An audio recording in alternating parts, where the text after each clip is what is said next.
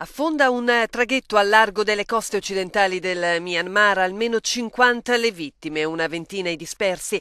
Secondo fonti della polizia locale a bordo dell'imbarcazione c'erano 209 passeggeri, 167 sono stati tratti in salvo. Al momento non si conoscono ancora con esattezza le cause dell'incidente, forse le cattive condizioni del tempo, un errore umano o la nave troppo carica.